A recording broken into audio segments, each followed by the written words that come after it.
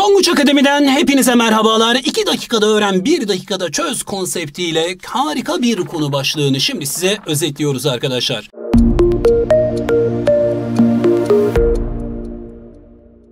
Bu konu başlığımızın adı koligatif özellikler. Koligatif bağlaşık şeklinde Türkçe'ye çevirebilecek olduğumuz bir kelimedir, bağımlıdır. Yani suyun içinde çözünen maddenin derişimine ve aynı zamanda oluşacak olan tanecik sayısına göre biz değişen fiziksel özellikleri inceleyeceğiz. Suyun içinde tuz çözdüğümüzü varsayalım NaCl, etil alkol çözdüğümüzü varsayalım C2H5OH. Tuzun özelliği nedir dediğinizde uçucu değil yani suyu baskı altına alan bir katıdan bahsediyoruz. Etil alkol için aynı şeyi düşündüğümüzde ise uçucu bir sıvı vurgusunu yapıyoruz. Ve suyun içinde tuz çözüyor olmanız yani baskılayıcı bir katı maddeyi suyun içinde eklemeniz su moleküllerini baskı altına alıp buharlaşmayı geciktirmekte ve zorlaştırmaktadır. Yani buhar basıncı suda tuz çözündükçe azalır şeklinde söylüyoruz. Ama uçucu bir sıvıyı kolonyayı, ekledi, e, kolonyayı imal ederken alkol eklediğinizde suyun daha da hızlı bir şekilde buharlaştığını görürsünüz görürsünüz ki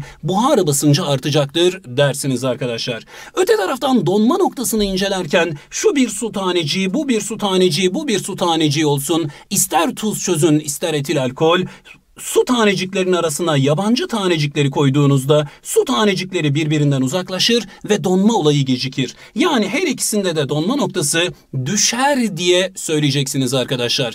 Gelelim kaynama noktası ifadesine. Eğer ki suyun içinde tuz çözüyorsanız suyu baskı altına alır diye söylemiştik ki işte bu suyun baskılanması buharlaşmayı geciktirir. Sıvının buhar basıncının dış basınca eşit olmasını e, zorlaştırır diyeceksiniz. Suda tuz çözdükçe bu yüzden kaynama noktası artmaya başlar arkadaşlar. Peki suyun içinde uçucu bir madde çözdüğümüzde ne olur? Buharlaşmayı hızlandırır, buharlaşmayı arttırır, dış basınca eşitlenmeyi kolaylaştırır ve kaynama noktası düşer diyeceksiniz. Şimdi sizin için harika güzel bir soruya sıfırdan ona kimya kitabımızla sayfa 107'de soru 3'e bir bakıyoruz arkadaşlar. Aşağıda bazı olaylar için sebep, eylem ve sonuç ifade edilmiş. Verilen olaylardan kaç tanesinde çözeltilerin koligatif özelliği vurgulanmıştır diyor.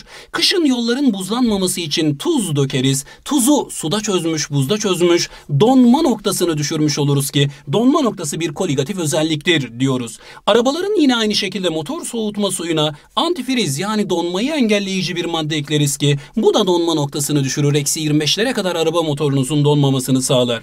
Mutfakta haşlama yaparken tuz eklediğimizde suyun içine kaynama noktası yükseleceği için kaynama durur. Koligatif özelliktir. Uçakların yine gökyüzünde buzlanmaması için, uçak gövdesinde don olmaması için yani donma noktasını düşürmek amacıyla propilen glikol dediğimiz maddeyi ekleriz. Bu da yine koligatif özelliktir.